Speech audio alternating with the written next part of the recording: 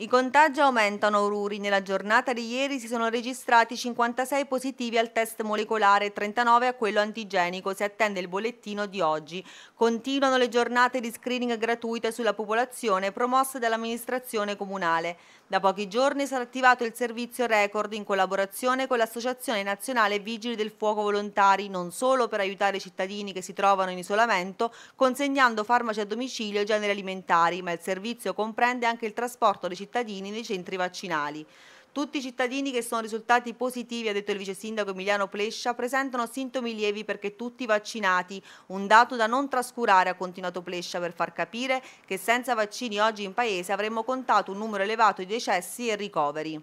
Per contrastare questa ondata epidemiologica con l'aumento dei casi esponenziali eh, abbiamo programmato tre giornate di screening, la prima il 20 dicembre, la seconda il 29 dicembre e la terza domani 5 gennaio. Abbiamo attivato, grazie all'Associazione Nazionale Volontari Vigili del Fuoco e anche grazie alla sezione di Croce Rossa qui, che è presente qui a Ruri, il servizio Record. Praticamente eh, consegneremo gli alimenti, eh, aiuteremo le persone che in isolamento non hanno la possibilità eh, di essere aiutate per raggiungere i centri eh, vaccinali e anche la consegna dei farmaci. Però devo dire che tutta l'amministrazione, colleghi amministratori, così anche come sindaco attualmente in quarantena, hanno collaborato e stiamo collaborando per far funzionare al meglio la macchina amministrativa, ma anche per dare supporto a tutti i cittadini.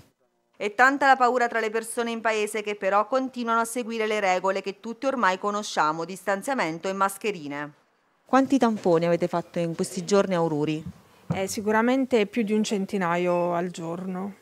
Purtroppo i casi di positività ci sono ogni giorno. C'è molta paura anche perché comunque più stanno e più aumentano e comunque la paura ci sta, soprattutto per i bambini, per gli anziani, per chi comunque è più debole eh, ci sta più insomma, paura per questo.